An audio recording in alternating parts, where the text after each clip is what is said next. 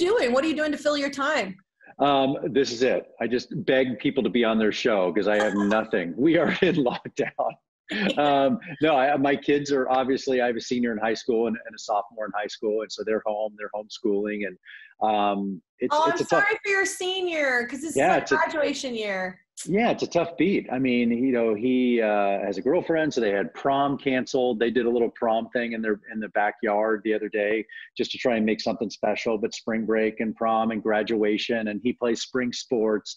That was canceled, and so yeah, it's a tough way to go out. But this is actually this is an amazing thing because I was just actually um, speaking with the voice um, about you know how long they've been on or whatever and blake has been there forever but you've been with the bachelor that's 18 years is that what yeah 18 that's right. years that's your kid that's your that's your kid going to college like that's an that's amazing like are do you feel like you're a relationship expert at this point is my because i feel like you're probably really good at a relationship how you speak well, it's funny how you put that in perspective because so my son was six weeks old when I got the job. And so when he shows up on set, now he's six foot two and a big college kid, and everyone's like, oh my gosh, that's how long we've been doing this show. It's horrifying.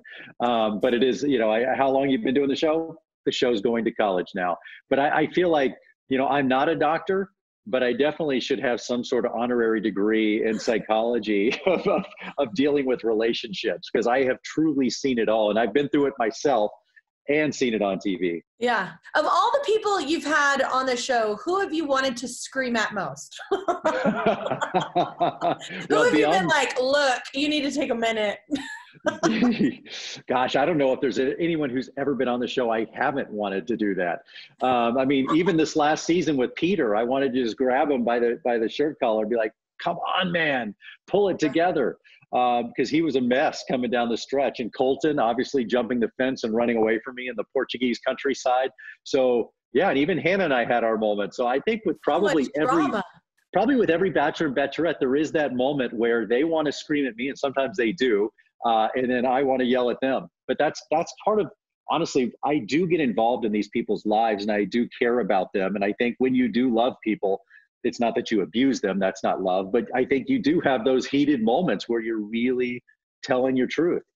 Yeah i think if you don't if you don't care about someone then you don't you don't care about telling the truth. You're just like whatever i'm exactly. yeah. Yeah i think it means something when you do get heated. That means that you're involved. You're invested subscribe to my channel. Subscribe to my channel. Subscribe to my channel. Subscribe to my channel. Please don't make me keep going